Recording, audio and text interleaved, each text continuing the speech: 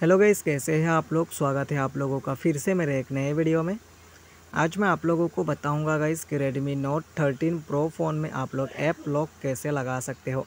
अगर आपके पास एक Redmi Note 13 Pro फ़ोन है और इस फ़ोन में जो है आपको ऐप लॉक लगाना है, अगर आपके फ़ोन में बहुत सारे ऐप्स है और किसी किसी ऐप पर आप लोग लॉक लगाना चाहते हो, जैसे कि व्हाट्सअप को लॉक करना है या फेसबुक को लॉक करना है तो कैसे आप लोग अपने इस फ़ोन में ऐप लॉक लगा सकते हो गाइस? तो आज के वीडियो में मैं ही बताऊँगा आप लोगों को।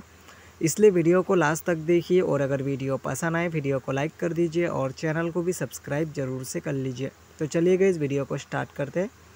ऐप लॉक लगाने के लिए आपको सबसे पहले जो है अपने इस ऐप लिस्ट को ओपन कर लेना है और यहाँ पर आपको एक एप्लीकेशन मिलेगा सिक्योरिटी का। तो इस सिक्योरिटी के एप्लीकेशन को ओपन कर लीजिए। ओपन करने के बाद नीचे स्क्रॉल डाउन करेंगे तो आपको एक ऑप्शन मिलेगा इस ऐप लॉक का। तो इस ऐप लॉक पे क्लिक कर दीजिए। क्लिक करते टर्न ऑन का ऑप्शन है अगर टर्न ऑन पे क्लिक करेंगे।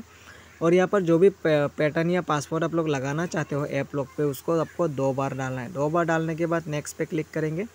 क्लिक करने के बाद नोट नाव का ऑप्शन आएगा। नोट नाव पे क्लिक कर देंगे। और नोट नाव का ऑप्शन फिर से आएगा तो फिर से आपको इस पर क्लिक करना होगा। क्लिक करते यहाँ पर कुछ इस तरीके से एप्लीकेशन आएँगे। तो इन सबको आपको अनसिलेक्ट कर लीजिए। अगर सिलेक्ट रहेगा तो ये सारे ही ऐप लॉक हो जाएँगे तो इन सबको अनसिलेक्ट कीजिए और यूज़ ऐप लॉक पे क्लिक कर दीजिए। क्लिक करते ही यहाँ पर आपको एप्लीकेशन देखने को मिलेगा। कौन कौन सा एप्लीकेशन आप लोग लॉक करना चाहते हैं, उसको ढूंढ लीजिए। ढूँढने के बाद उसके साइड में जो ये स्विच है, इसको ऑन कर दीजिए। ऑन करते ही जो ऐप है, वो लॉक हो जाएगा। तो मैंने व्हाट्सअप को लॉक किया था। अभी अगर मैं व्हाट्सअप को यहाँ पर से ओपन करने की कोशिश करूँगा तो लॉक आएगा। जो भी लॉक आपने डाला था, उसको डालते ही ऐप अनलॉक हो जाएगा। तो कुछ इस तरीके से आप लोग अपने Redmi Note 13 Pro फ़ोन में आप लोग ऐप लॉक लगा सकते हो। तो कैसा लगा इस आप लोगों को ये वीडियो अगर वीडियो पसंद आया हो तो वीडियो को लाइक कर दीजिए और चैनल को भी सब्सक्राइब ज़रूर से कर लीजिए। मिलते हैं कल एक नेक्स्ट वीडियो में, तब तक के लिए बाय